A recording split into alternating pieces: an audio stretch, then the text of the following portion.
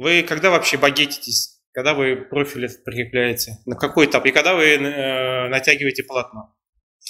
Здесь нет какой-то четкой такой политики. А, Или как вы рекомендуете, скажем, как правильно? Ну, вообще правильно, как бы, ремонт сверху вниз, да, по логике. Сначала у нас полностью натяжка, потом уже, ну, естественно, когда стена готова под обои, уже обои, либо покраска, потом уже круг, соответственно. А, ну, смотрите, конкретный вопрос задам.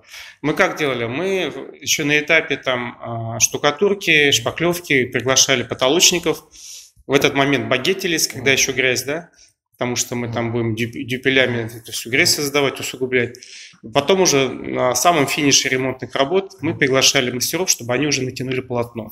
Вот. Можете ну, это прокомментировать? Это тоже есть, в принципе. Ну, возможно, один из самых распространенных, то есть это либо сразу натяжка, да, потом, ну, если у нас, опять же, клин не предполагается, да, а, потом, соответственно, все остальное, либо же, да, это профиль по периметру, потом клеится обои, кладется там паркет или ламинат, потом уже чистая натяжка, опять же. Ну, здесь уже нужно заботиться о стенах, то есть накрывать стену и предельно аккуратно есть, ну, возможно, да, один из популярных вариантов. Есть большие риски, что стены будут испачканы или повреждены в процессе э, натягивания полотна? Нет, если ты изначально к этому моменту подходишь ответственно, если ты на этом делаешь акцент для себя, то никаких проблем нет. Вот вторая квартира берет на этом профиле. Мы, собственно, и сам профиль делали уже на чистой витражной стене, и, собственно, монтаж полотна у нас тоже был на чистой витражной стене. То есть нам приходилось вдвойне как бы себя сдерживать, да? Перфораторами.